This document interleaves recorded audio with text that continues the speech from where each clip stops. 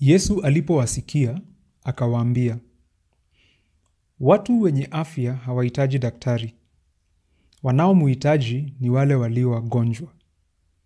Sikuja kuwaita watu wema, ila watu wenye dhambi.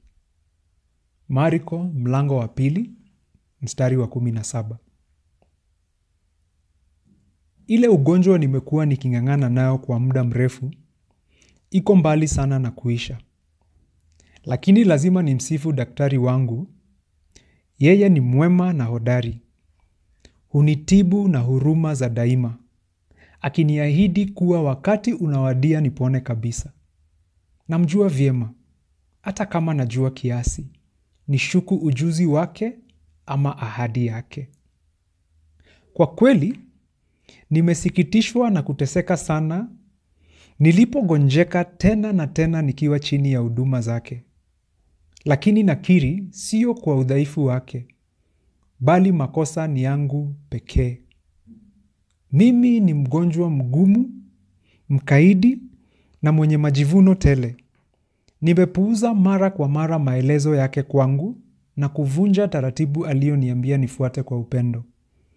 Huu ukaidi na umang'aa wangu na ukali wa magonjwa yangu ungefanya nifukuzwe kama mtu asiyekuwa na matumaini na wa kutengewa kifo. Nisingelikuwa chini ya mkono wake.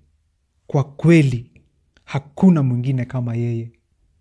Ninapojiweka chini sana, yeye bado hunisaidia. Na lisifiwe jina lake. Nimewekwa uhai kwa ukarimu na matibabu yake kamili. Ingawa dawa zake zote huwa na manufaa, siyo zote huwa tamu na za kupendeza. Mara kwa mara yeye hunipa dawa tamu. Lakini kwa kuwa nina magonjwa sugu na hatari, kuna haja yangu mara nyingi zaidi kunywa dawa kali, chachu na zisizopendeza. Wakati fulani tunaona mitandaoni watu wakishuhudia kupona kwao. Nadhani kama ningeandika ujumbe wangu na kisa changu, ingesomeka hivi.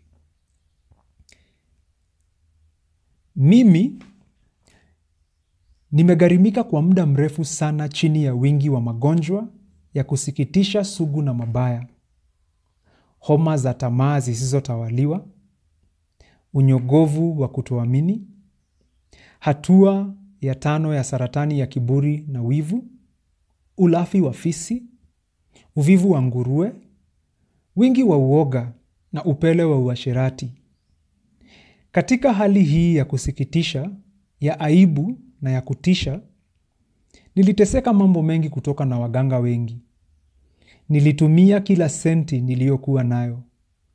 Lakini hali yangu ilizidi kuwa mbaya na mbaya zaidi.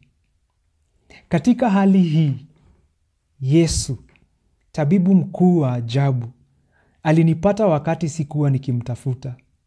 Alichukua kesi yangu bure, bila pesa na bila malipo. Haya ni masharti yake kwa wagonjwa wake wote. Homa yangu sasa imepona.